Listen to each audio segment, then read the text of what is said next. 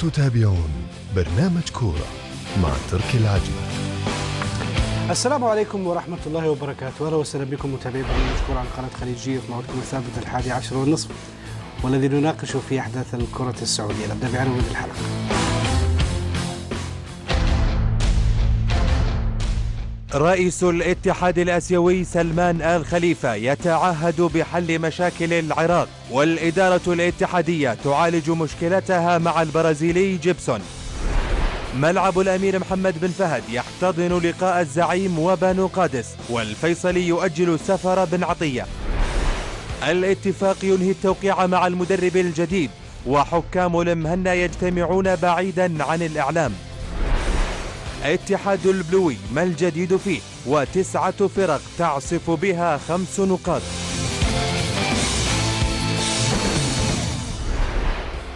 هذه عناوين الحلقة؟ نشوف أخبار شوت.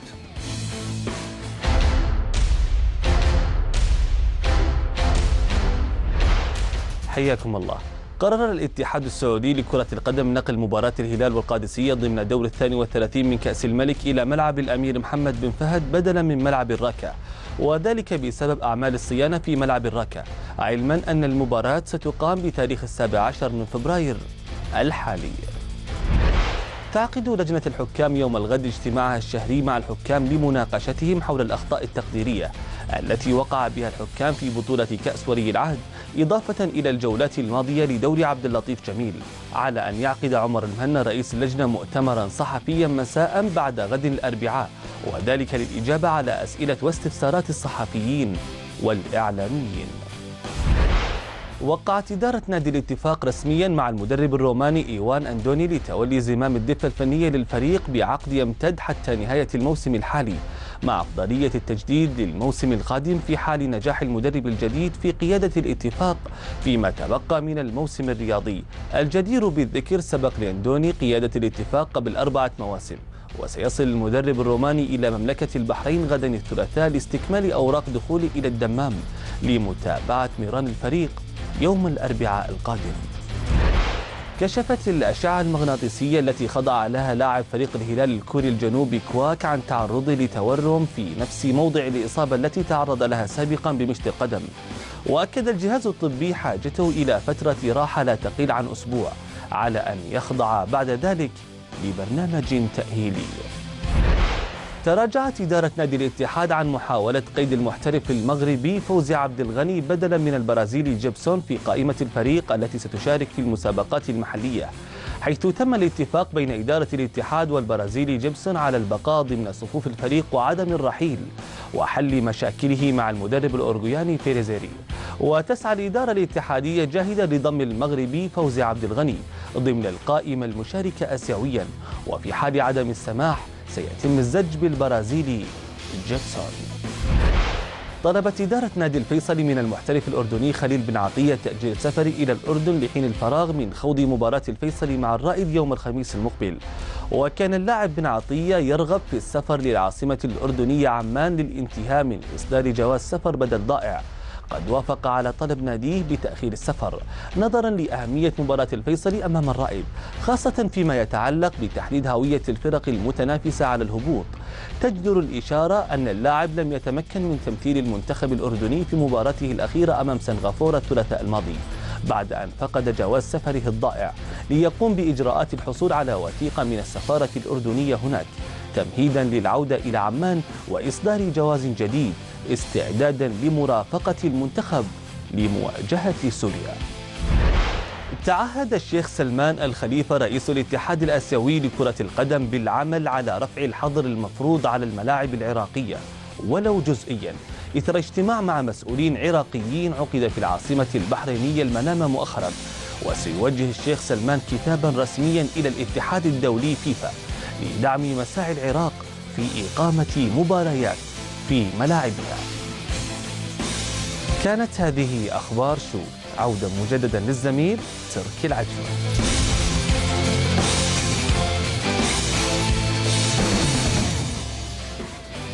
شكرا تركي شكرا للزملاء. اسمحوا لي في بداية الحلقة نرحب بضيفينا معنا في الاستوديو الأستاذ أحمد المسليح الكاتب الصحفي والناقد الرياضي. هلا أبو تركي. الله يحييك أستاذ تركي. أنا سعيد بوجودي معك وأتمنى الله إن شاء الله يمن بالشفاء على والدك.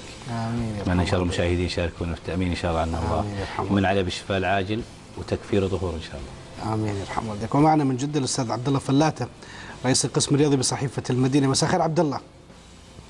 مساء النور السرور امسي عليك وعلى الأستاذ أحمد المصيبيح واشارك الرأي وتمنياتي للوالد بالشفاء العاجل إن شاء الله. شكرا. الله يخليك. شكرا. آمين يا رب. نبدأ مباشرة بالأخبار. الحكام يجتمعون بعيدا عن الإعلام والمهنة يعقد مؤتمرا صحفيا. خلاص توبة. ما عاد ما عاد في الاجتماعات الشهرية بدخول الإعلام والإعلاميين والأندية وممثليها والله- خلاص انتهت طويه الصفحة. لا ربما الخبير عمر مهنا يرى المرحلة هذه لابد أن يبعدون الإعلام يعني الحكام عن الإعلام لأن الإعلام يعني ما قصر الفترة الأخيرة. آه، خلاص ما نبغى نتكلم في كث- تكلمنا كثير عن الحكام لكن المرحلة القادمة تتطلب إعداد نفسي كما هو حال اللاعب الحكم السعودي. في الفترة الأخيرة بدأ الآن الأسبوع الأخير ما في أخطاء يعني الدرجة يعني تغير نتائج المباريات ولكن الطموح أكبر أمامنا برضه مسابقة كأس الأبطال. وما بقي مباريات الدوري. أتمنى إن شاء الله يستعيد الحكم السعودي ثقته بنفسه أكثر وأن يستفيد من أخطائه آه، لأنه مهما كان يظل ابن الوطن والحكم السعودي هو الأجدر بقياده مباريات الدوري المحلي. طيب إيش اللي كان موجود في الاجتماعات الشهرية وصار آه، من المفروض إنه ما يكون موجود؟ يعني تواجد الإعلاميين إيش الضرر اللي كان يتحقق من وجودهم وبالتالي كان واحد من الحلول ابعاد هذا الاجتماع عنه. هو كان آه، هدف آه، عمر مهنا يعني من فترة طويلة إنه يجمع الحكام بحضور الإعلام ويتكلم معهم ويواجه انتقاداتهم يشيل الرهبة من الحكم. لكن الفترة الأخيرة لما كثرت الضغوط أصبح الحكم أنا أعتقد إنه أكثر الحكام جاء الأستاذ هو معلم عمر مهنا قال يعني حقيقة مواجهتنا مع الإعلام تزيدنا ضغوط تزيدنا حرج إحنا نبغى ما يكون في نشر غسيل لأنه أكيد الأخطاء كثرت والتشخيص كثير على ال- الأخطاء اللي صارت فأصبح وجود الإعلام مضره أكثر ما هو منفعة. يعني افاد الموسمين الماضيين بالعكس زالت الرهبة أصبح في علاقة حب صار يستخدم. موضوع خلينا نقول الاعتراف بخطأ الحكم ومناقشة الحكم. صار يستخدم كدليل على أنه النادي تعرض لأكبر كمية من الظلم. طبعا. ولا وتجاوز موضوع ال- الشفافية وتثقيف المجتمع؟ لا طبعا. خلاص صار الحين كل كل يغني على لا كل ينظر الخطأ بحق ناديه. في بعض الإعلاميين محسوبين على الإعلام ينظرون الخطأ الحكم والله شوف اعترف وعمر مهنا قال خطا زي ما الآن يقول شوف والله الخبير فوده قال الزيد قال. مع إني أنا شخصيا أرى إنه تقييم الحكام من المكاتب غير مجدي. يعني مباراة انتهت في الحكم مطالب باتخاذ قرار في أقل من ثانية فياتي حكم في وضعه المرتاح يقول والله المفروض الحكم سوى وهو نفس الحكام اللي يقيموا كان يس- يخطون أخطاء أكثر فداحة من اللي صارت. أنا ما طبعا ما أقيم ولا أقول الحكام المفروض ما ينتقدون لكن كان في نوع من القسوة. يعني في قسوة حتى من الحكام انفسهم اختلافهم على ضربة جزاء على طرد على على زاد من الضغوط أصبح الإعلام والخبراء كلهم على الحكام الشباب عبد الله الإعلاميين آه، ما حد يوريهم شيء خلينا نقول يعني انجازت التسمية إن آه، ما حد يدخلكم اجتماعات أنتم. بالعكس افترض يعني نحن في عصر ومرحلة انفتاح. الانفتاح ده له نواحي عدة إيجابية لكن الواضح أن لجنة الحكام نتيجة الأخطاء التراكمية عدلت عدة نقاط. من ضمنها سمحت للحكم اللي بيعتذر عن مباراة يشعر بالخوف قال لهم هناك بعبارة صريحة يعني. منعتهم من تويتر فهي بتنقلق على ذاتها. وأنا ما ماني مع هذا التوجه لكن تقديرا للظروف اللي مرت بها ممكن هي بتصحح بعض النقاط أو بتحاول آه، تقنن بعض النقاط. لو تابعنا الحكام الأجانب اللي حضروا ورحلوا طيب، إيش بأخطاء، الفائدة اللي تتحقق؟ معناته نتقبل أخطاء حكام. إيش الفائدة اللي تتحقق من أبعاد أو خلينا نقول إغلاق هالاجتماع؟ وإيش الفائدة اللي كانت أصلا موجودة؟ من فتح الاجتماع.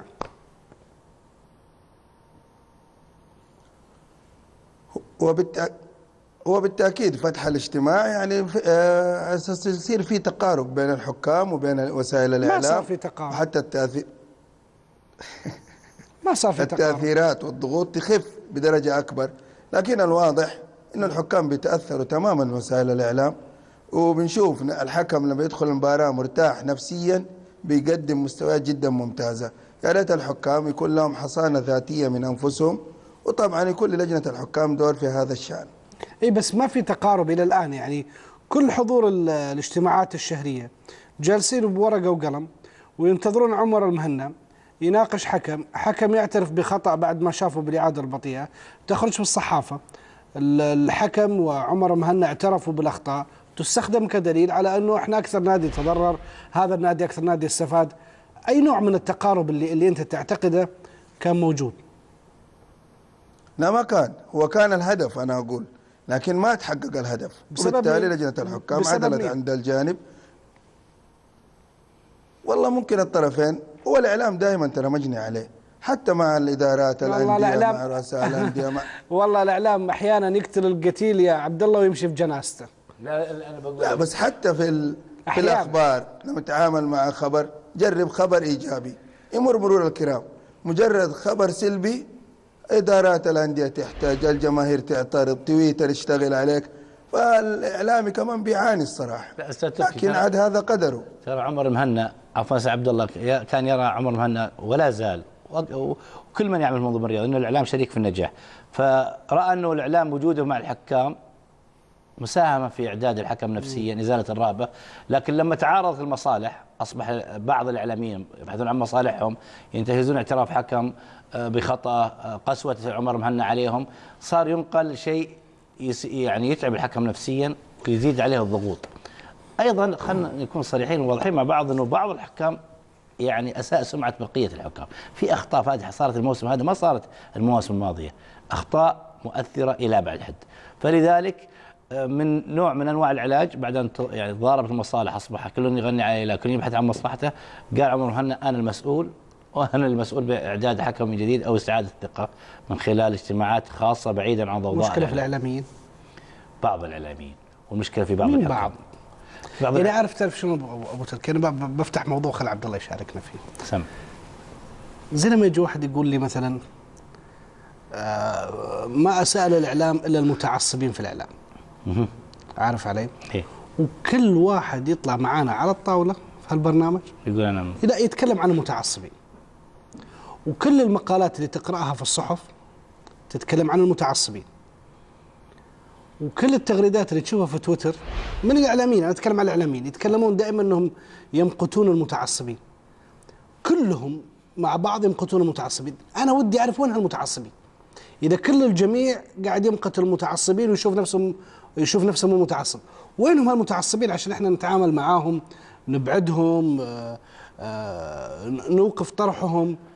كل ال- ال- الإعلاميين يتكلمون هذا متعصب وهذا متعصب وهذا متعصب. والله طب وين المتعصب؟ يعني ما يبغى يعني ما يبغى لها فراسة أو ذكاء أو جرأة. 95% من موجود الآن في الإعلام متعصبين إي يعني مش بعض. كلهم إيه يعني يمثلون أنديتهم لما يأتي يعني لما تضارب يجي الصدق مصالح يعني. يجي الصدق طلع اللي في الخاطر الحكم هذا فيه الحكم تذكر وش سوى الحكم يعني يعني مش بعضهم أغلبهم والله بالفعل كسبت الجولة معي والله أغلبهم مو بس في قضية التحكيم في كل شيء يتعارض مصلحة ناديه وميوله دائما بعض الإعلام معظم استرجع أيوة كذا. است- استدراك معظم الإعلاميين الآن نصف نفسه متحدث إعلامي محامي النادي آه كله من أجل كسب الجمهور. رضا الجمهور شوف أنا والله مع ناديه في السراء والضراء أنا ما أخلي الفرصه الإعلامي الثاني. راح حكاية المهنية والرسالة هذه لا. هذه آه في أن- مريت بهالمرحلة في يوم من. الأيام طبعا. وسبق واعترفت مريت فيها لكن الحمد لله ما طولت. لا المسألة والله مسألة مبدأ وضمير. نسمع رأي عبد الله عبد الله إيش رأيك؟ أنا في نقطة معينة. عبارة الإعلام شريك في النجاح. الإعلام ما هو شريك. الإعلام رقيب. ولما يقوم الإعلام بدوره الرقابي بكل مهنية بيعتبروه خصم. ولو اختلفت معاهم في الرأي حتى لو وافق ميولك تصير متعصب ضده أو. إلى آخره. فالإعلام والله إلى درجة كبيرة مجني عليه ولا يمنع إنه في بعض الإعلاميين رقيب محايد متعصبين. وليس رقيب مشجع. رقيب محايد أستاذ عبد الله بالتأكيد. وليس رقيب مشجع. بالتأكيد. اللي نشوفه الآن رقيب مشجع. بالتأكيد. تفضل أستاذ عبد الله اسف أخونا عزيز. أنا أتكلم عن عن الدور الرقابي للإعلامي. يفترض إن الإعلامي يؤدي دوره الرقابي. مع النا... الأندية مع الاتحادات مع مع إلى آخره. المشكلة آه، مرفوض الدور ده. المطلوب إنه الإعلام يصير مع التيار. والإعلام لابد إنه يكون له استقلالية ويكون له رأي. كلام- هذه كلام- مسألة كلام. الميول هذه. موضوع هذا الموضوع. موضوع آخر. عبد الله. الميول في الوسط الرياضي مش قضية مش مشكلة يعني. أنت في الأخير ما أنت جايب ناس دخلاء على على المجال أنت لازم تجيب ناس عندهم ميول وعندهم انتماءات. الكلام على أنه في شعارات يعني يتم ترديدها. يعني مثلا شريك في النجاح ولا الإعلام رقيب ولا الإعلام مظلوم ولا الإعلام متعصب. الجميع كل واحد يعني يتهم الآخر ويجرد نفسه من كل هالاتهامات. أنا ودي أشوف هالمتعصبين. إذا كل الناس بالوسط الرياضي يتكلمون إنه المتعصبين المتعصبين طب وين هم المتعصبين؟ إذا كلكم شايفين إنه المشكلة في المتعصبين وأنتم مو متعصبين. الحياة في الصيف. إذا اشتد الرمي. لا أنا أتابع. أتابع بعض الزملاء. لما يطلع برنامج يتكلم بلسان نادي في أي قضية. كأنه هو هو رجل من النادي. أتابع بعض مواضيع في الصحافة. كانها صحيفة حائطية في النادي. صحيح. حقيقة يعني أنا أتابع دي الأمور. فهذا يعني أنا ما أحتاج إنه يقول لي متعصب ولا مو متعصب هو متعصب تلقائيا يعني. الحكم يصدر سلفا. ليش في تصنيفات كثير في ال- بالذات في الصحافة ال- الورقية؟ خلاص صارت معروفة. الصحف الهلالي النصراوي الاتحادي. لأن الاعلام ما- يعني يتيم ما ما يعني حقيقة ما له مرجعية. ما له احد يقومه ما في آه، دخول الإعلام س- كررنا الكلام هذا. دخول الإعلام بأقل مؤهل بأقل خبرة. أنت جاي من أي دائرة حكومية تصير إعلام وتستضاف. يعني ما ما أحتاج. تحس انه رؤساء التحرير أحيانا في بعض الصحف. هم أسباب البلاوي راس التحرير. هم كانوا يقودوا في يوم من الأيام ال- ال- ال- المجال الرياضي. وبعدين صاروا ما يقرؤون إيش ينكتب والله ما. يقرأ يعني دائما القسم الرياضي في الصحيفة آه، أو خلينا نقول حتى الصحيفة الرياضية المتخصصة. ما يكون في تعمق في في فيما يكتب. يعني أهم شيء الصفحة الأولى الصفحة الأخيرة. طبعا إثارة. يقول لما أحد رؤساء التحرير كان يقول لي بدون ذكر أسماء كان يقول أبغى أبيع. طب أبيع على حساب مهنة على حساب رساله يقول لا يا أخي أنا لو بصير آه، على طريقة وكالة أنباء ما حد شرى لي. ما سو... لما أحط عنوان مثير لما أتعصب لما لما أسوي أخلق لي مشكلة خبر غير صحيح أسوي ثاره ما بعت. هذا هذا فلسفة معظم معظم الصحف الرياضية. لكن في عقلاء والله في عقلاء. لكن رؤساء التحرير يراقبون عندهم ما هو أكبر اهتماماتهم أكبر. لكن أنا عتبي على الصحافه المتخصصة ودي تكون أفضل. يعني ودي تكون أفضل أو تقود الإعلام الرياضي بحكم إنها متخصصة. الإعلام ال- الآخر مع إنه والله يعني مع تويتر ومع الفضائيات أصبح الإعلام المقروء مكشوف. أصبح القارئ والمتابع يفرق بين الغث والسمين يعرف هذا وش يقصد وش هدفه يعني ما عاد في مثل أول تقدر تقنع. المتابع انه والله الض- فريق ظلم من الحكم، الآن كل شيء قدامك في الفضائيات وفي محللين في نقاد في محللين تحكيميين. اللي أنا أقول الإعلام آه، مفروض مسؤولية الإعلام الرياضي، الإعلام الرياضي ما ما له مرجعية. تخطي بحق حكم حق لاعب ما شفت إعلامي آه، قوم أو أوقف أو أو لا إلا ما ندر. لكن لو كان في تقويم للاعلاميين الرياضيين خرجنا بالصفوة على الأقل بس أمانة ال- الكلمة، أمانة الكلمة سواء المكتوبة أو اللي تنطق فيها في الفضائيات أو في حوارات. يجب كلنا لنا ميول، أنا لي ميول وأعشق النادي اللي لكن لما يجي المنطق أنصف وبعدين okay. لكن وش ردود الفعل مع المنصفين؟ لما أنت تحاول تلبس ثوب المنصف أنت منافق، أنت مستفيد إلا كل العبارات الشتم لأنه ما تعود، الوسط الرياضي ما تعود، إن لم تكن معي فأنت ضدي. اعلام موزع دكاكين هذا دكان أصفر هذا أزرق هذا أخضر. هذه قضية. ودفعنا ثمنها في المنتخبات الوطنية. صارت انتماءات الأندية إلى أن طلع أناشيد خاصة بالأندية. وهذه لها عاد كلام ثاني. أنا أبغى الانتماء فقط للوطن والنادي تشجعه وتستمتع بالآخرين. ما يمنع الرياضة فيها متعة وفيها استمتاع. لكن الآن لا النظره متعصبة. تقول رأي تقول النادي الفلاني المنافس فيه أوش كم اعطاك أنا ممدح النصر كم اعطاك فيصل من تركي أمدح الاتحاد وصادقت البلوي. هذه قضيتنا في الإعلام الرياضي. لأنه مع خلاص الإنصاف أصبح نفاق. لكن لو الأكثرية صاروا منصفين صدقني خلاص. ال- اللي جالسين في زاوية ظلماء ويتحدثون باسم أنديتهم ويكثرون الفلاورز معهم متابعين والله شوفوني أنا المحامي حق نادي خلاص هذول يختفون يسمون الخشاش. لكن الصادقين لما يكثرون في المجال الرياضي ويكون في انصاف صدقني المتلقي يحترمك ويحترم الحقيقة ويح- ويحترم النادي المنافس. الآن لا. شيء غير طبيعي اللي يصير وسط الرياضي أعوذ بالله. إيش رأيك يا عبد الله؟ أنا بقول نقطة الصراحة بكون صريح أيوة. يعني لأبعد درجة.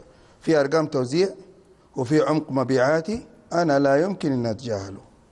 أنا في أعرف في بعض مباريات وبعض نتائج أعرف نقاط التوزيع يقول لي قبل الظهر خلاص هنا خلصت المبيعات.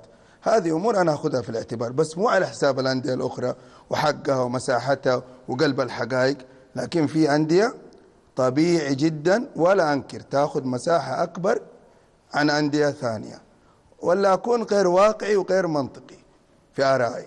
طيب هيئة الصحفيين لها أي علاقة بال بالصحافة الرياضية؟ لها علاقة أي شيء؟ ب- أو أي ب- بأي موضوع في الصحافة؟ أنت عبد الله والله أنا ما يربطني بهيئة الصحفيين إلا مجرد بطاقة.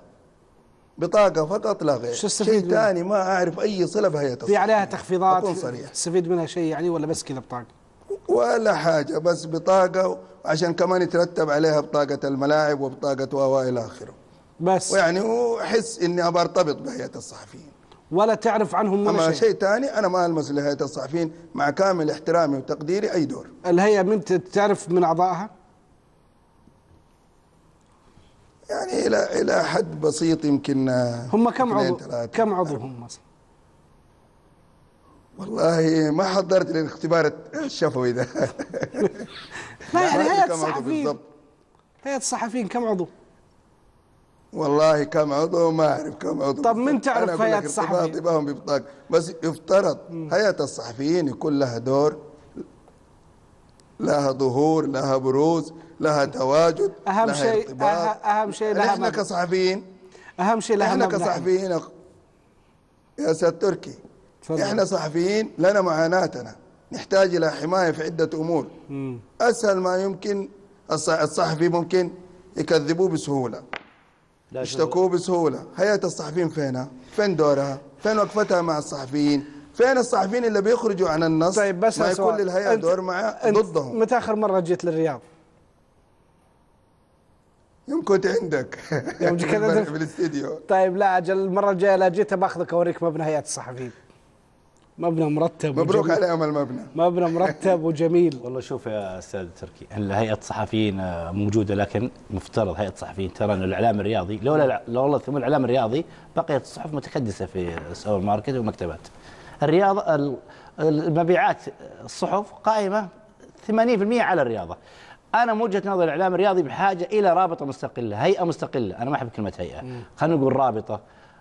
آه، يعني سمها أي يعني ما شئت لكن يكون في مرجعية للإعلام الرياضي، الإعلام الرياضي الآن زي ما قلت لك يتيم، ما أدري وزارة الإعلام هي لها اللي تطول عليه أو هيئة الصحفيين أو المؤسسات الصحفية، أنت الآن ما تقدر المؤسسات الصحفية، هيئة الصحفيين ما تقدر توقف محرر رياضي. لأن ما في نظام يخول لها الشيء هذا، فذلك لابد من وجود رابطة بإشراف يعني بمباركة حكومية عشان يكون فيها استقلالية وفيها عقوبات وفيها مميزات وفيها شروط وفيها وفيها. الإعلام الرياضي الآن ما شاغل الدنيا ولكن من هب ودب صار إعلام رياضي. طيب هيئة الصحفيين تعرفهم؟ أصدقائي ما يحتاج. كم واحد؟ أنا أعرف رئيس الأستاذ الكستيري وأعرف نائبها الدكتور هاشم وأعرف الأمين الأستاذ عبد الله الجح الدكتور عبد الله الجحلان وطلال الشيخ دخل فيها وأحمد الفيد مجموعة شباب. لكن للأسف ما أشوف شيء قدامي. أمامي ما أشوف شيء قدامي. أنافق؟ والله ما شفت شيء. حتى الآن أنا ما لي علاقة بهيئة الصحفيين إلا البطاقة. زي ما قال عبد الله. أكون صريح. أنا أبغى يكون لها أدوار. الإعلام الرياضي هو الشغل الشغل. الآن آه، النقطة السوداء في الإعلام السعودي البطاقة هذه. ملزمة؟ عشان تحصل على بطاقات الملاعب وكذا. طبعا الآن أصبحت ملزمه بقرار سمو الرئيس العام إنه لابد تكون معك بطاقة هيئة الصحفيين موجودة. والهيكل واللي ما عنده واللي ما عنده ما يدخل ملاعب ما, ما. يصدر له بطاقة من مكتب الرئاسة. يقص تذاكر يعني يقص تذاكر فبطاقة هيئة الصحفيين أنا ودي هيئة الصحفيين دام فيها طب الاسماء كويس البارزة. يعني على الأقل واحد يعني استفدت شوي من البطاقة. على الهيئة؟ لا لا طقطق على الهيئة. هي تطقطق على نفسها بروحها يعني. أنا اللي اقوله أنا بسال سؤال يا أخي نبغى نفتح الموضوع بأمانة. هيئة الصحفيين السعودية يعني وش لها غير المبنى اللي موجود على الطريق الملك فهد مبنى يفتح النفس. طيب. لا في أعضاء لا في اجتماعات ولا في أي جدول عمل طيب ولا وجود- الحين الحين بقول لك شيء. واحد زي الاستاذ عبد الله فلاته رئيس القسم الرياضي بصحيفة المدينة على رأس العمل ما يعرف مين الأعضاء. طبعا ما في نظام ما في مرجعية لكن اللي يقوله قالوا إن هيئة الصحفيين فيها كبار السن وناس قدامى. طيب دخل فيها جماعة جديدة الجماعه الجديده أنا ودي يتدخلوا معك. أو وش سويتوا لما دخلوا ما يقدرون يا بالحلال ليش ما يقدرون؟ ما طيب شوف أنا عندي قناعة في نادي أو في أي منشأة رياضي أنا ما أحب اللي يقول ما أقدر، ما تقدر انسحب. لا يحسب عليك وتاريخك ودورتك أنك جيت ولا سويت شيء. أنا مسؤولية الإعلام الرياضي يجب حقيقة. ال- الأسماء البارزة المتميزة لا زالت يعني تتربع القمة أنه يا جماعة الصحافة الرياضية أو الإعلام الرياضي بشكل عام يحتاج إلى إلى يعني رعاية اهتمام تقويم تهذيب. أصبحنا يا أخي حديث المجالس. شفت فلان وش قال في الفضائيه الفلانية؟ هذا شتم هذا تويتر عاد وخرب الدنيا. صار في الفاظ تقال صار الواحد يجاهر بميوله ويسيء للنادي الثاني. اللي يصير لسامي الجابر أنا كمثال عشان ما أقول والله هذا محايد والله مصيبة مسوي فيها. اللي يصير سامي الجابر الفترة الأخيرة هل هذا يعني مهما كان ابن وطن وقدم للرياضه السعودية وعمل ومدرب مثله مثل أي مدرب ينتقد لكن الآن اللي يصير سامي الجابر كأنه يعني كأنه شخص نكرة ما سوى شيء للرياضه السعودية. مجرد إنه اسمه سامي الجابر. هذا برضو لو في أحد ينصف سامي الجابر ما صار اللي صار. عبد الله؟ توقع يعني تركي. تفضل آه ترى رئيس أنا أعرفه والأمين العام ورئيس تحرير صحيفة المدينة عضو فيها أعرف عدة أسماء وجا يعني رسالة مو طبعاً. معقولة ما أعرفهم يقول أحمد جاتك أعرفه. رسالة بس لا لا لا لا لا ما جاتني رسالة ولا شيء توبة بعد الرسالة بعد الصورة والإجابة الصحيحة وبالرسالة ضاعت لا لا. بس أعرفهم أنا بق- يعني بتكلم بل كان لي تواصل مع الأمين العام كان عندي اتصال معاه مباشر العشم. أكبر عشمنا فيهم أكبر هيئه الصحفيين إيه عشمنا أكبر ونطمح منهم يعني جو آه تواجد أكثر دعم للإعلاميين وفي نفس الوقت الأشياء السلبية يكون لهيئه الصحفيين دور الصحفي يجد رقابة من خلفه رقابة أمامه إي نعم. من خلال عمله يكون لل- للهيئة دور مثمر يعني إن شاء الله. أما انهم تواجد بالشكل الحالي لا نتمنى أفضل. عموما دائما أي انتقاد لأي جهة لازم تكون القفلة حقت الانتقاد عشمنا أكبر ونتوقع منهم أكثر. وإحنا عارفين في قناعتنا إنه ما صار شيء. هيئة الصحفيين مجرد بن- يعني مبنى لا أكثر ولا أقل. فاصل قصير بعده وبطاقة وبطاقة. وبطاقة طبعا تدخلك الملعب بلاش فاصل بعده نعود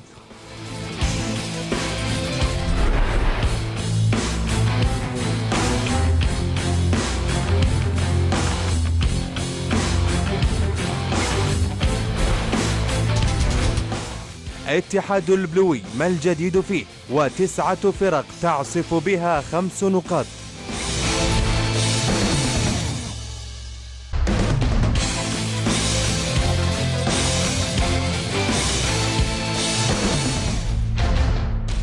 رئيس الاتحاد الأسيوي سلمان آل خليفة يتعهد بحل مشاكل العراق والإدارة الاتحادية تعالج مشكلتها مع البرازيلي جيبسون. ملعب الأمير محمد بن فهد يحتضن لقاء الزعيم وبنو قادس والفيصلي يؤجل سفر بن عطية. الاتفاق ينهي التوقيع مع المدرب الجديد وحكام المهنا يجتمعون بعيدا عن الإعلام. اتحاد البلوي ما الجديد فيه وتسعة فرق تعصف بها خمس نقاط.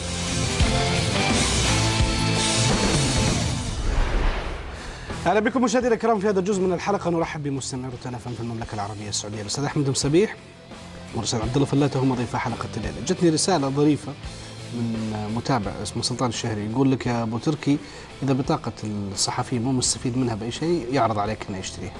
على الأقل يفتك من الزحمة. لا بالعكس بطاقة هيئة الصحفيين هذه وسام وشرف لي ولأي إعلامي. لا كل مقام مقام يعني ما يمكن الواحد يسيل هيئة هو يقصد الصحفيين إنه يعني عشان بس ما يبغى يفتك من الزحمة بس. لا لا والله بالعكس أنا أتشرف يكون معي هيئة بطاقة هيئة الصحفيين لكن عشم أكبر. يعني ودي أدوار تفعل بالذات الإعلام الرياضي. ودي أشوف وش قدمت الإعلام الرياضي. الآن الإعلام الرياضي هو مشكلة ال- الإعلام بشكل عام. الناس تشكو من الإعلام الرياضي من تهذيب لغة الحوار من من أبغى يكون لها حضور أكثر. يعني بدورات بندوات. يعني مرت س- سنة الآن ما شفت شيء. من عقب يكون لها حضور أكثر يكون لها حضور. على أول شيء حضور بعدين نطلب حضور أكثر. أتمنى والله. والله أتمنى؟ يعني حقيقة عشمنا لا زال اللي قايمين عليها هم أس- أس- يعني اباطره الصحافة هم العمالقة. لذلك نتعشم منهم شيء أكبر. طيب نشوف تقرير يتحدث عن الأوضاع الاتحادية بعد البلوغ.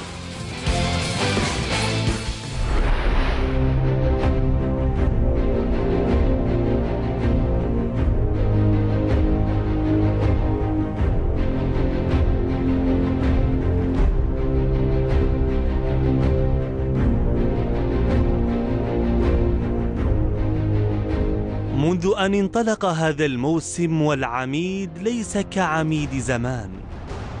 ابتداء من المشاكل المالية ومرورا بالمشاكل الإدارية والفنية وحتى انتخاب رئيس جديد. اتحاد البدايات ليس كاتحاد الأمس القريب واتحاد الأمس القريب ليس كاتحاد اليوم مع الرئيس المنتخب مؤخرا إبراهيم البلوي. تدريجيا على الرغم من أن ذلك متأخرا كثيرا في الدوري العميد يقدم مستويات فنية بدأت بالتصاعد. ولعل خمسة أهداف في مرمى الاتفاق دليل على ذلك. العميد بدأ ينتعش ماديا والمكافآت بدأت تنهال على لاعب الفريق حتى المدرج الشمالي.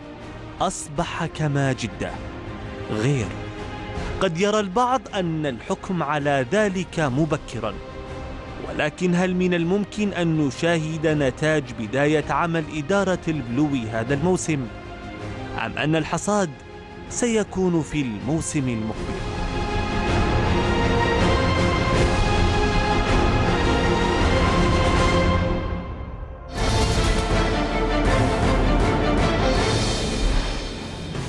عبد الله إيش اللي صار الجديد في الاتحاد؟ يعني ما تغير شيء لا شيء تحت الشمس حتى بعد الإدارة المنتخبة ما تغير شيء في الاتحاد. هو الإدارة المنتخبة يحتاج لها مليون خط لأنه الإدارة استمرت. عادل جمجوم والمجموعة اللي ما استمروا الوحيد اللي اختلف في الأمر رئيس النادي اللي هو إبراهيم البلوي. ما في يعني طبيعي مهما حاولوا يخفوا الموضوع سواء من ناحية إبراهيم أو من ناحيته لا ما في تناغم ولا في انسجام ما بين مجلس إدارة نادي الاتحاد. النقطة المهمة اللي عملها الأستاذ إبراهيم البلوي هو فصل كرة القدم من خلال جهاز متكامل هو تولى الإشراف. وجاب الدكتور محمد السليمان يعني والأستاذ حامد مدير تنفيذي. يعني هذه خطوة إيجابية وشفناهم مع الفريق تواجدوا خلال يومين. الكل يتكلم الاتحاد حتى الأمور المالية. ترى العشوائية عشان تتعدل في نادي الاتحاد تحتاج إلى فترة زمنية طويلة. تصور نادي الاتحاد من غير مسيرات من غير تكاليف من غير كيف حتصرف الرواتب. هذه الأمور كلها قاعدة تصحح المسيرات فقط في فريق كرة القدم. إنما العاملين اللاعبين التكاليف بالجوال يعني الاتحاد مضى حقبة زمنية عشوائية يعني ما أعتقد في نادي آخر موجودة. فهذه يحتاج لها عمل كبير وعمل مرتب وما يحتاج لها رئيس نادي فقط. يحتاج لها رئيس نادي بأعضاء مجلس إدارة مجلس إدارة متكامل يؤدي العمل ويصحح ال- العبث اللي تم طوال الفترة الماضية. فما حتكون أي نتائج ظاهرة. تصور المحترفين الأجانب بونفيم فين بونفيم كان مختفي؟ بونفيم هذا ما أخذ إلا راتب واحد من جاء من البرازيل. الأمر ينطبق على جيبسون. في معاناة. الآن الأستاذ إبراهيم اجتمع به وما عادهم للفريق. بونفيم لاعبه اتضح أنه لاعب مفيد. آه، جيبسون الإدارة دي اتعاقدت معاهم حقيقة لكن ما عرفت تستثمرهم ما عرفت تستفيد منهم. يعني كل الأمور في الفترة الماضية في الاتحاد سلبية في سلبية فعشان الاتحاد يبدأ يعود لابد يحتاج لفترة زمنية وعمل جاد وعمل جبار وعمل طويل. وجماهير الاتحاد لازم تنتظر تنتظر على أساس يظهر الاتحاد ليش ما انتظرتوا. طيب على على الإدارة السابقة؟ ليش ما قلتوا هالكلام؟ لا قلنا. أنا في برنامجك قلت يا أستاذ تركي. اتكلمت فيه في برنامجك. الإدارة السابقة كان نادي الاتحاد يدار بعشوائية. يمكن في تويتر موجودة. أنا آه، مدربين وإداريين آه، تكليفهم ترى بالجوال شفوي. ما أعتقد في نادي درجة ثانية صارت العملية دي. الآن الأستاذ إبراهيم يحتاج العمل ده كله يترتب وكله يتنظم.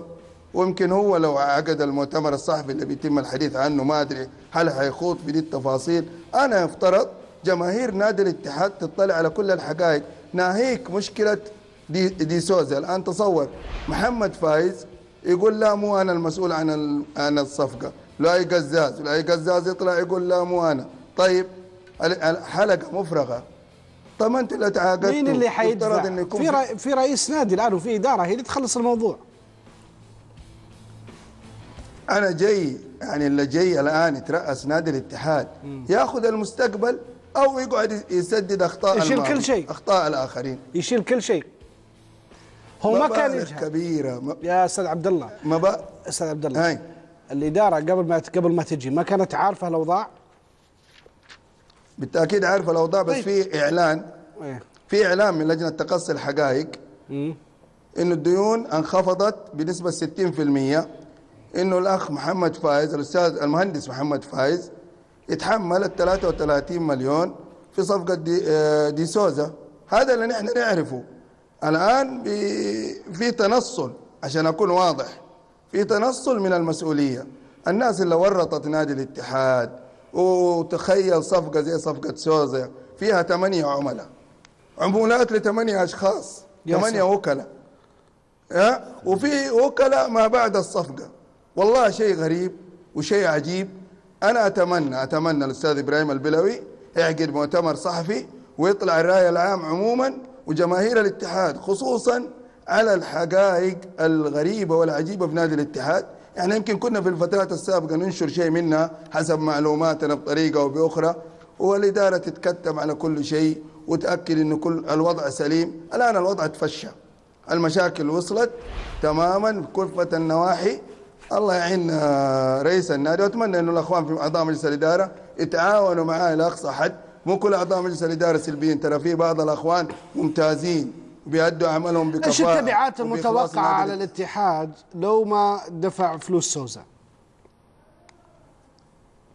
سوزا؟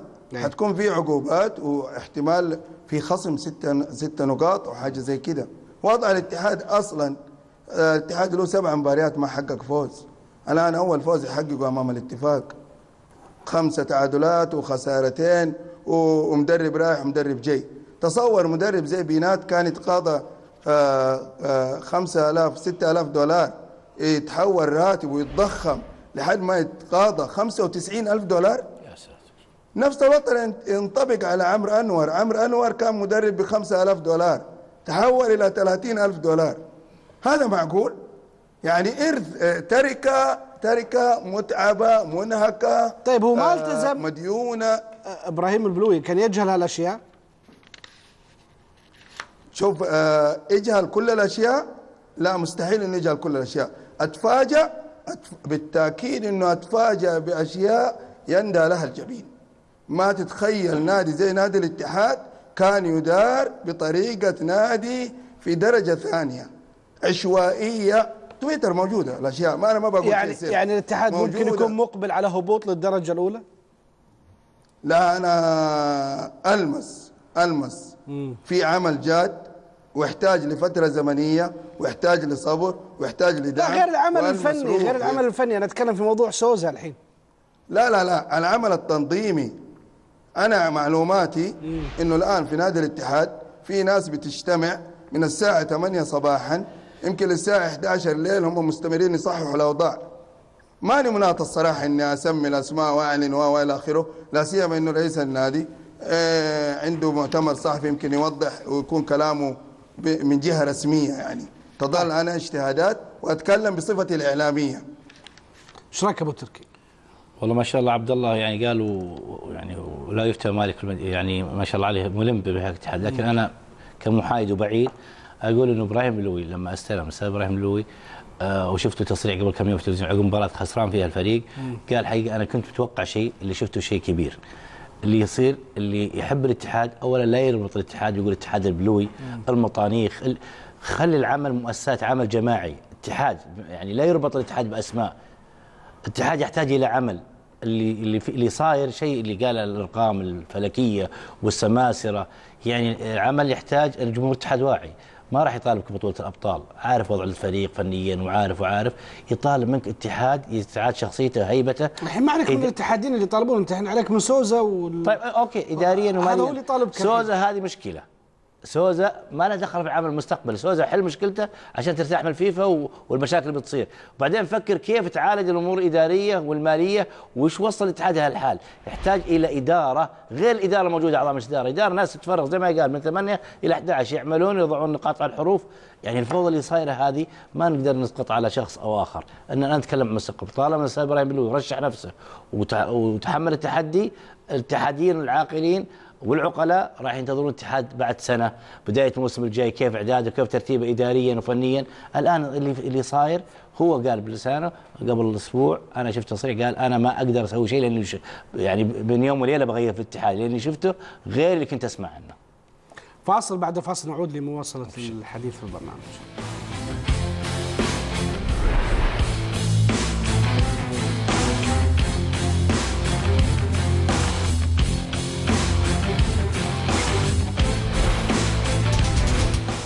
كنوز وطنية بين النجاح والرحيل.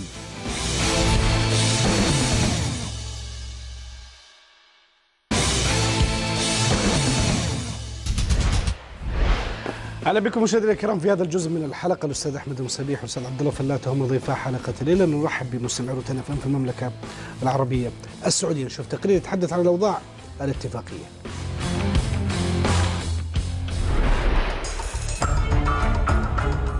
يقال الخيل من خيالها. لكن يبدو بأن فرس الشرقية انتظرت فارسها طويلا. فارس اعتاد تخطي الحواجز وحصد اسمه على لوحة شرف الموسم.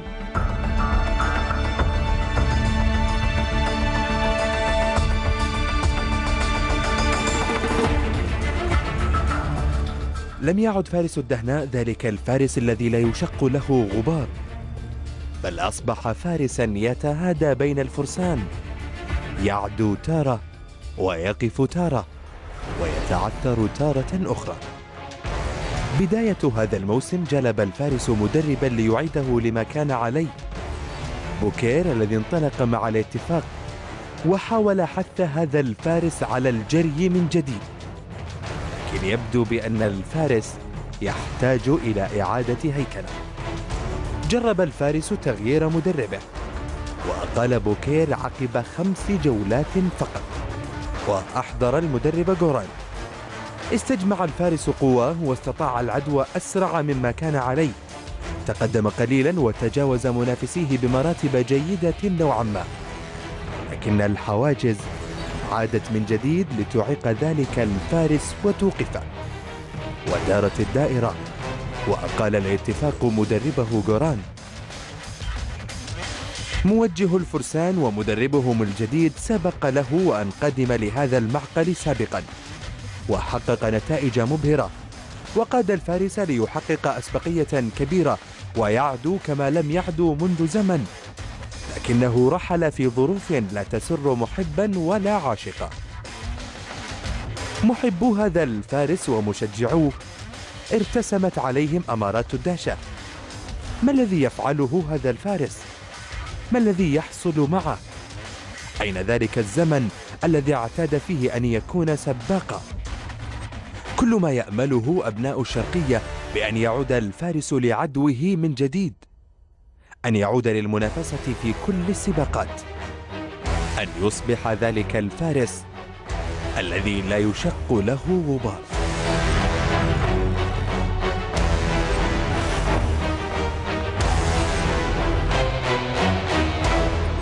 لبرنامج كورة عبد الله رشود.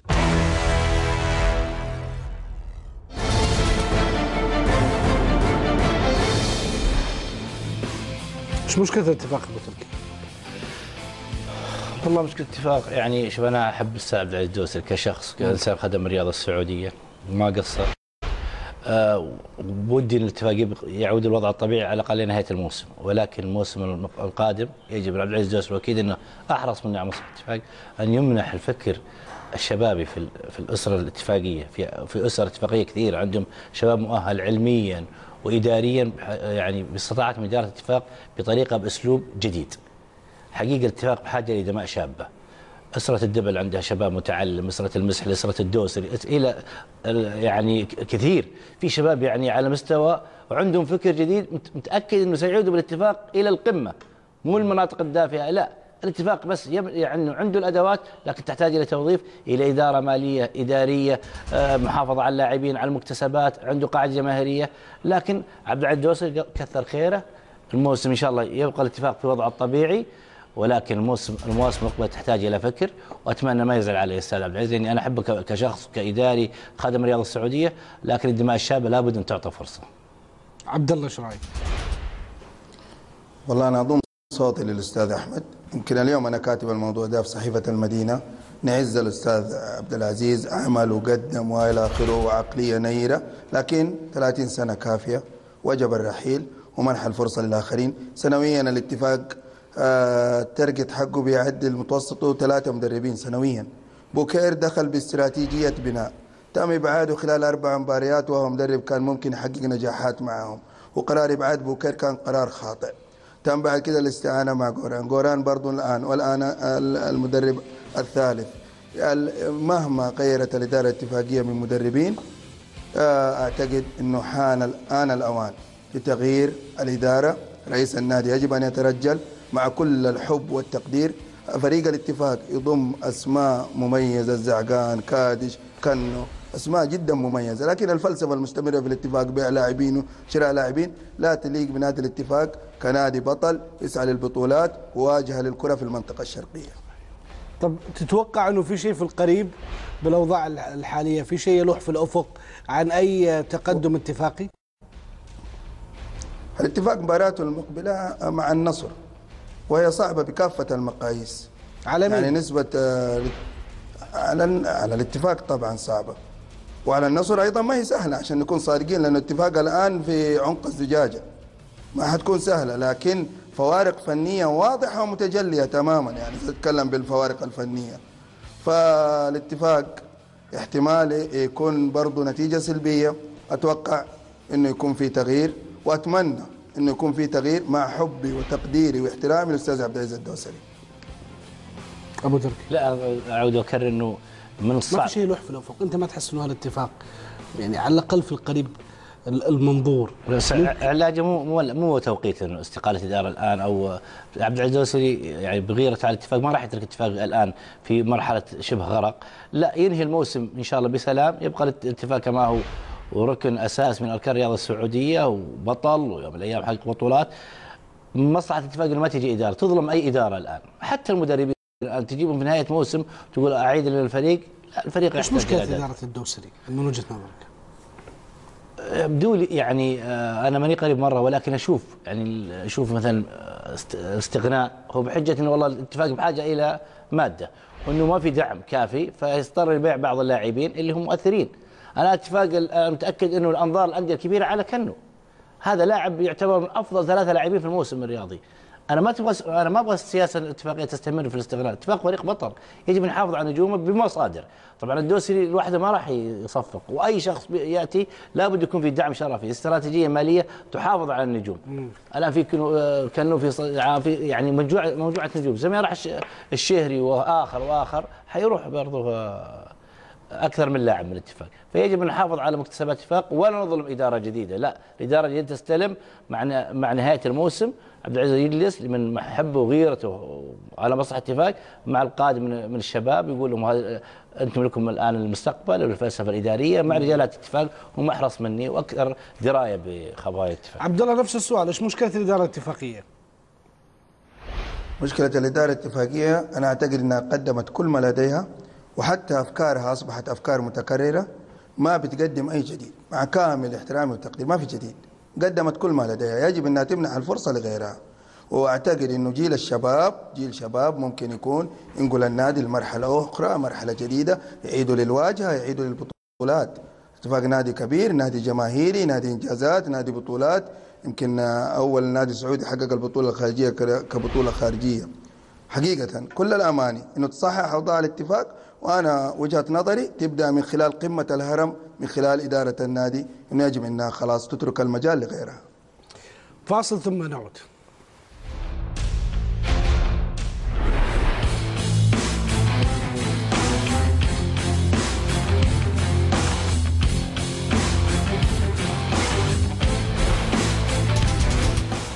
النصر والهلال في محاولة خطف نقاط المنعطف الأخير.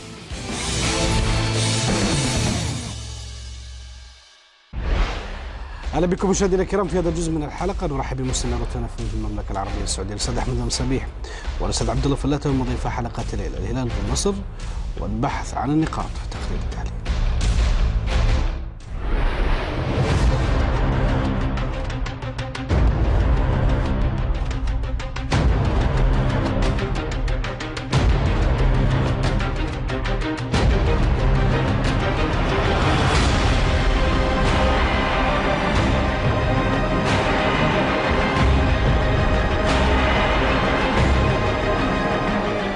نصر وهلال هلال ونصر.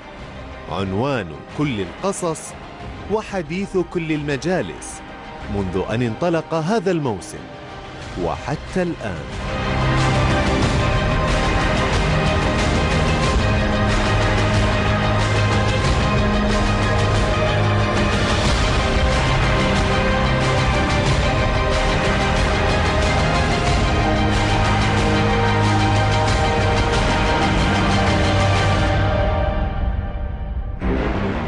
الجولات الخمس المتبقية من دوري جميل ستحفل بالوعود والعهود حيث يستكمل الصراع بين الفريقين خلال خمس عشرة نقطة. ثلاث منها ستكون أمام الملأ وجها لوجه.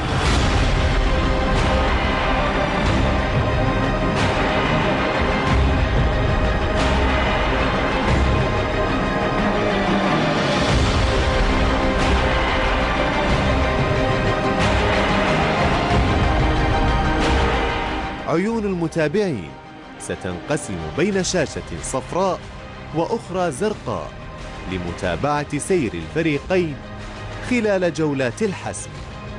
فهل ستشهد الفترة القادمة انقلابا في الموازين وتغيرا في الاستراتيجيات أم أن الأمور قد حسمت مبكراً؟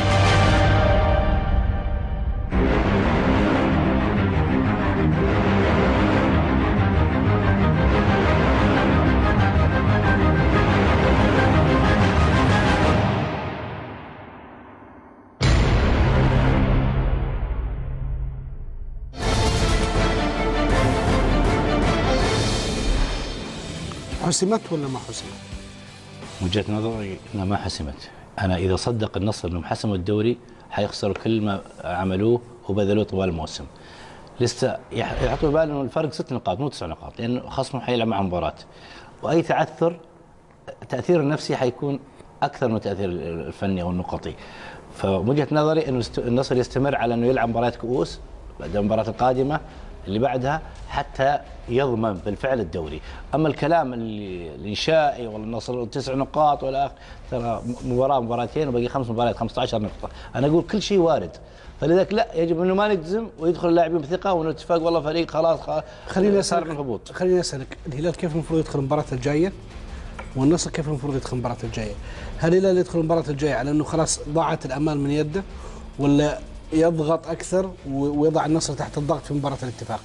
الهلال يجب أن يدخل مباراة قادمة. كما تكلمت عن النصر أتكلم عن الهلال. على أنه الدوري لا زال لا زال في الملعب. في في, الملعب. أنه يفكر في اجراء مع اللي مباريات النصر. وش بقى على النصر ياخذ 11 سبع نقاط 10 نقاط لا. يلعب مباراة. أول شيء لاستعادة شخصية الفريق. الهلال الان لا زال مذبذب يعني يعني حتى جمهوره ما ما هو راضي عنه ابدا. ترى في القمة واخر في القاع فالفريق الآن يحتاج إلى استعادة شخصية. استعادة الشخصيه تأتي من الطموح. إنه إذا الفريق قال والله أنا الحين بستعد لبطولة الأبطال الدوري فقدت الأمل. لا ما فقدت الأمل في الدوري. كل شيء وارد. العب بشخصية الفريق البطل إنك الوصيف حتى آخر عمرك لكن إذا دخلت بشعور والله بلعب بالفريق الثاني أبى هي الب... حتفقد البطولتين. مو بطولة الدوري فقط. إيش رأيك عبد الله؟ والله أنا وجهة نظري إنه النصر حسم الدوري بنسبة كبيرة إنما يعني بصفة 100% أو شيء زي كده بالطبيعي لا. آه النصر من 15 نقطة سبع نقاط تكون كافية بالنسبة لتحقيق بطولة الدوري أعتقد أقل من 50% بمستوياته اللي قدمها طوال الموسم والفوارق الفنية عن الفرق الأخرى واللي حيواجهها بالتحديد. أعتقد يعني العملية يعني إلى حد كبير آه نصراوية لكن في كل الأحوال ما زالت الكرة في الملعب وما زال الهلال من حقه إنه ي- يش- يلعب على ال- على الأمل المتاح طبيعي جدا. ونحن حنستمتع إن شاء الله. إيش رأيك؟ والله أقدر وجهة نظر لكن أقول لا زال المشوار آه، النصر لا يص... يعني يجب اللاعبين كلاعبين طبعا إنه خلاص إن الدوري حسم. الدوري لا زال في الملعب. طالما فيه باقي سبع نقاط باقي ثمان نقاط اذا لا زال. خمس جولات 15 نقطة فيها يعني أخذ وعطاء صحيح النسبة الأكبر تسع نقاط وإلى آخره والهلال مستواه الفني ضعيف أو متدني أو أقل من الطموح. لكن يجب أن النصر حتى يصل إلى منصات الذهب. اللي سواه الموسم هذا شيء مو سهل. قدم فريق بطل شخصية بطل حيخسر كل شيء لما تكون الثقة أكثر من الرغبة لابد يكون في رغبة أن يحقق الدوري حتى آخر رمق لا يصدق ال- ال- المنافسين يعني يقول والله خلاص انتهى الدوري حسم الدوري. يعني ما يعني مثلا عبد الله فلاتة أو زيد بالعكس منطقيا تقول والله تسع نقاط النصر أفضل فنيا. وفريق عنده فريقين وعنده مدرب ممتاز وجمهوره. لا كل شيء وارد في عالم كرة القدم. ربما الاتفاق يصحو على حساب النصر. ويدخل في حسابات النصر يلعب ضد الهلال بأعصاب مشدودة امام الشباب امام الاتحاد. الهلالي لو تعثر النصر أمام الاتفاق كيف ممكن يتعاملون مع هالفرصة؟ اللي هي الفوز وجعل الفارق ثلاث نقاط. مع مباريات صعبة للنصر ومباريات سهلة نسبيا للهلال. طبعا نفسيا آه، حتعطيهم الرغبه تضاعف الرغبة. يعني الآن موجوده ولكن حاسين الوضع صعب لكن لما لو يتعثر النصر بتعادل أو خسارة طبيعي اختلف الوضع تماما. اللي قدام أربع مباريات في شباب وفي اتحاد. يعني فريقين والتع... والتعاون. والتعاون. كلهم فرق حقيقه يعني قادره على التعادل أو الفوز. اذا الكرة لا زالت في الملعب. لكن بشخصية الهلال الآن بالشيء اللي صاير على الفريق هذا هو الآن اللي يجب أن نقف عنده أنه الكلام اللي اللي نقوله قبل المباريات من واقع مباراة اللي عاشها الهلال الهلال أصبح هش يعني ما تقدر ما, ما ينشد فيه الظهر زي أول تقول والله الهلال آه، مباراة النجران في ملعبه بين جمهوره احتمال يفوز مثلا وبيفوز بنسبة 90% لا الهلال اختلف شخصيته اختلفت تماما إيش رأيك يا عبد الله؟ والله بالنسبة أتفق مع الأستاذ أحمد بالنسبة للهلال وضعه اختلف فنيا هذا الموسم إلى حد كبير عن ال- الفترة الماضية آه، في معاناة لكن أنا ما زلت يعني الصراحة مقتنع. النصر حسم الدوري بنسبة أكثر من 80% آه، نقطة إنه باقي له أقل من 50% صحيح إنه يواجه مباريات قوية ممكن مباراة الاتحاد مباراة الشباب بالتأكيد مباراة الهلال لها خصوصيتها ولها تنافسها ولها طموح مشترك يعني. لكن إلى حد كبير النصر في وضع يعني قريب جدا جدا من تحقيق بطولة الدوري. طيب خلينا نشوف تقرير عن الخمس نقاط اللي تفصل الفرق.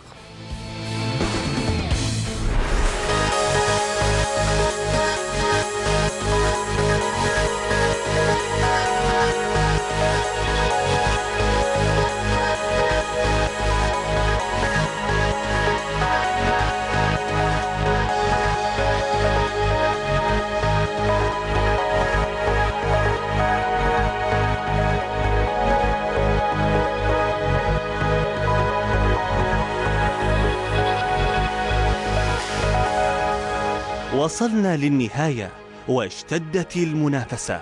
وما بين ابتسامة عريضة لهاربين إلى جميل وآخرين ضاقت الأنفاس بهم وجميعهم مهيأ للذهاب لدور المظاليم. رغم فارق المراكز. ولكم أن تتخيلوا بأنه من المركز السابع وحتى مركز الرحيل. الفارق بين الفرق خمس نقاط. أحدها سيرحل. على الرغم من أن هناك فرق ذات إمكانات جيدة. ولكن مراكز الصراع الآن لا تعترف بالإمكانات ولا أسماء الفرق. تعترف فقط بالنقاط ولا غيرها. غالبا في باقي دوريات العالم عندما يكون الفارق النقطي بسيط تشاهد كرة قدم ممتعة. هل سنشاهد هذه المتعة الكروية فيما تبقى من جولات دورنا وفارق الخمس نقاط ما بين صاحب المركز السادس وصاحب المركز الثالث عشر. تدل على ماذا؟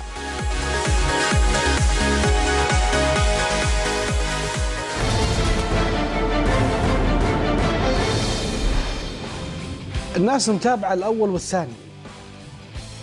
ترى من ال- الجولة الجاية في شغل كبير بيصير. يعني في دوري ثاني بي- بي- بيبدأ من الجولة الجاية على المراكز ال- اللي من بعد الثاني. مو ما بقول متأخر اللي من بعد الثاني كله في شغل كبير. يعني آه، لأول مرة في تاريخ الدوري السعودي والمؤرخين يشاركون إنه يعني الأول والثاني يفرقون عن الثالث وبقية من السابع إلى الأخير فارق محدود جدا. يعني كله مهدد بالهبوط. أو نعم.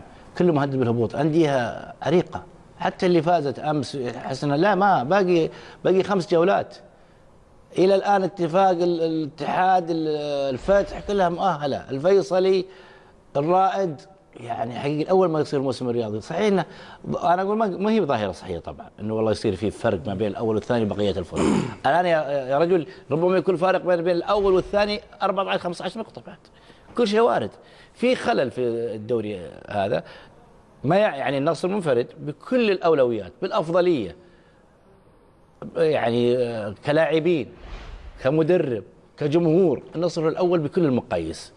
بقية الفرق الهلال في مركز الثاني ولكن قريب من أصحاب المركز الثلاثة حقيقة فنيا. قريب من الأهلي قريب من ال- الشباب. لكن اللي فارق النصر. القضية زي ما تفضلت في المركز السابع إلى الأخير النهضه طبعا 70% يعني ضيف على دوري ركها من جديد.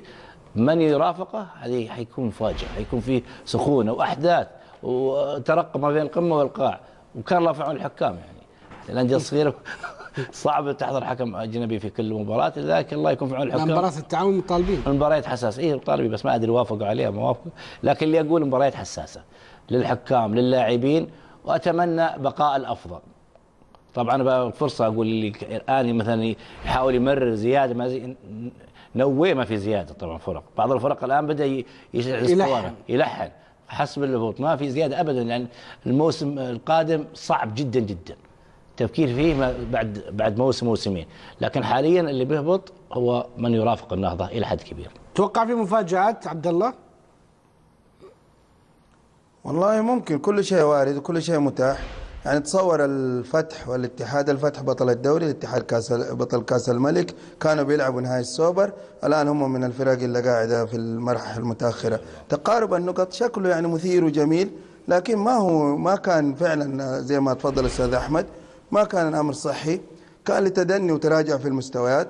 كان لعشوائية كانت في نهاية الموسم للإعداد للموسم وإلى آخره الاتحاد الاتفاق الفتح معاناة غير طبيعية.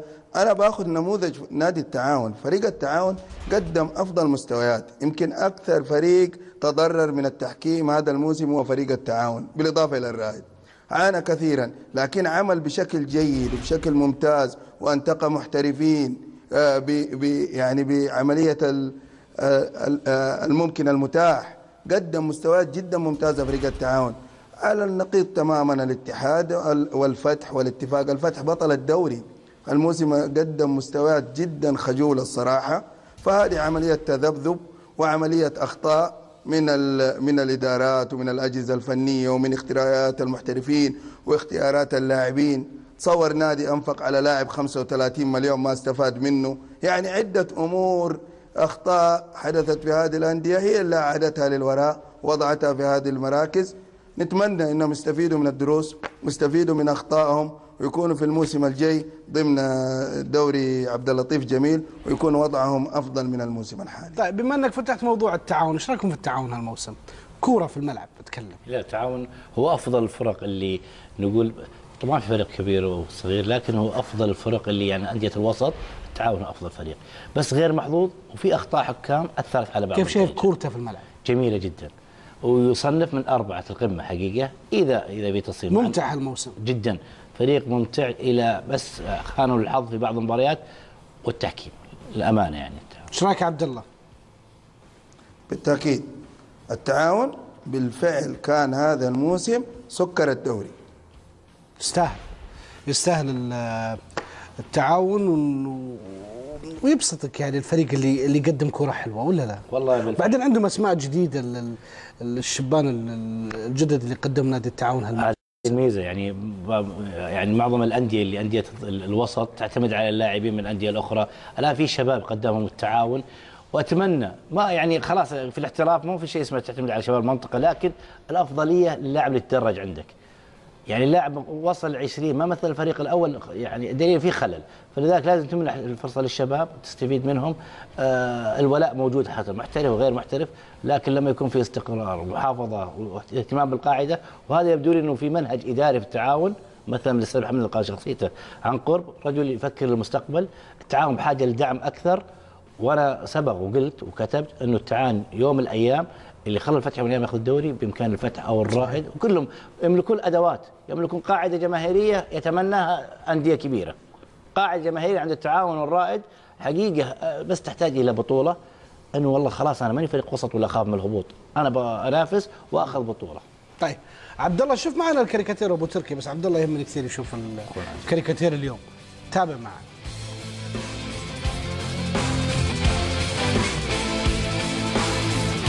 عبد الله جبسون. والله هذا جيبسون إيه. ومعاه جو- جوال. وجوال. يعني. ويمكن بيسجل كمان. إيش صار في موضوع جبسون بعد التسجيل والتسريب؟ ولا شيء. ولا شيء. سمعنا من ال- الأستاذ عادل جمجوم إنه حيتم محاسبة جيبسون ما تم محاسبته. ومنع من العقوبة اساء الادب تابعناه بعد كده مشاكله صارت تراكميه جيبسون أصلا جاء. يعني بسجل لو أنت نظرت له الصراحة تتردد مليون مرة. الحساب اللي في تويتر اللي يغرد فيه بالعربي هذا حسابه الفعلي ولا منتحل؟ لا حسابه. حسابه اليوم غرد وقال إنه أنا مستمر في الاتحاد. في الاتحاد مستمر الآن. لا مو في لما الاتحاد. لاقى في صر قال في جريدة الاتحاد. صح ولا لا؟ صحيح بس هو لما لقى في صرامة في التعامل السؤال؟ بس ليش قاعد وإنك إذا أنت يا حتست ليش يغرد بالعربي؟ يا حتستمر عبد الله ليش يغرد بالعربي؟ والله شوف اللاعبين البرازيليين عادة لهم أصدقاء إيه، يوصلوا لهم المعلومة ويغردوا لهم بالعربي أنا أعرف إنه له صديق متواصل معاه طول الوقت والظاهر إنه هو اللي هو اللي بيقوم هو اللي كتب اليوم هذا. هو اللي كتب اليوم جريدة آه، مستمر في جريدة الاتحاد؟ قوية دي.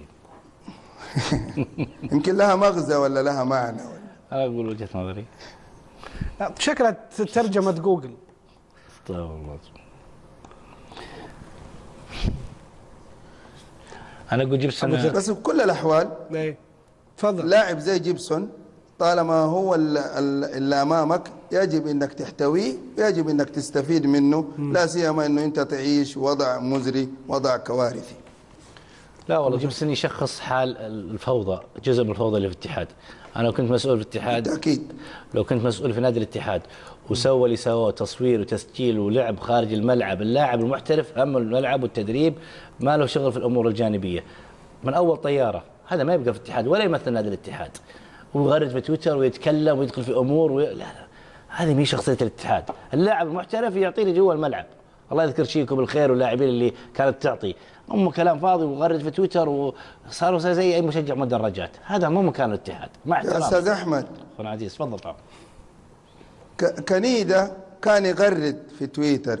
وهذه سياسة طوال فترة الإدارة الحالية زي ما أنت تفضلت. تجسيد للفوضى والعشوائية والوضع الكوارثي اللي عاشته الإدارة الاتحادية الماضية. واللي أصرت على الاستمرار. حقيقة؟ ما ينبغي الاتحاد كنادي آه، عميد ومونديالي ونادي له سمعة له جمهوره يجب يكون فيه خصوصية. اللاعب محترف له أدواره الإداري له أدوار أي إداري يبارك بقاء جبسون هذا شريكه في اللي صار. أي إداري مهما كان اسمه يبارك بقاء جبسون هذا شريكه في أي خطأ بدر من اللاعب. فاصل قصير بعده نعود للجزء الأخير من الحلقة.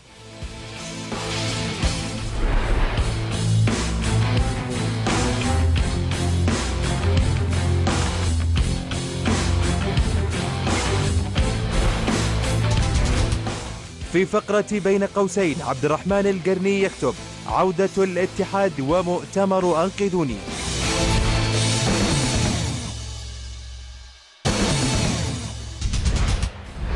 أهلا بكم مشاهدينا الكرام في الجزء الأخير من الحلقة. الأستاذ أحمد المسبح والاستاذ عبد الله فلاتة هم ضيف حلقة الليلة نشوف بطاقة لمباريات الغد. جاهزة يا شباب البطاقة؟ أعطونا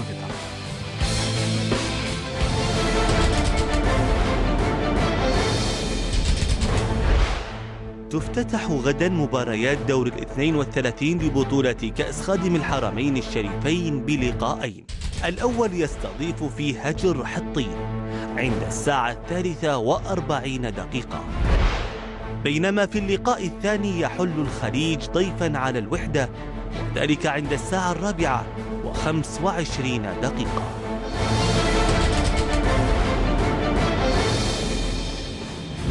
وصلنا ختام الحلقة. عبد الله شكرا جزيلا وجودك معنا. نشوفك إن شاء الله في حلقة قادمة.